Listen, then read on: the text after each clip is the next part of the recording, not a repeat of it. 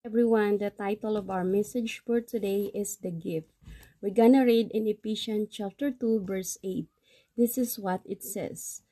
For by the grace that you have been saved, through faith, and this is not your own doing, and it is the gift of God. Okay, let us pray. God, give us the gift today. Any kind of gift that's come from above is a blessing. Okay. So anyway, let us pray. Father God, thank you for the gift that you have given to us, especially the gift of salvation.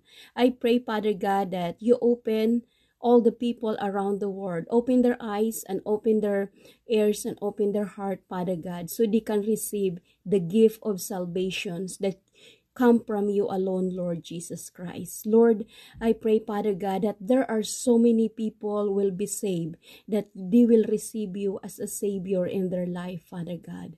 Thank you, Lord Jesus, for the cross. Thank you for dying in the cross. In Jesus' name, amen and amen. So, my dear brothers and sisters, my friend, God give us a gift. The gift of salvation. That's the best gift that we need to receive. It's free, guys. It's free. Receive now the gift of salvation. Be blessed.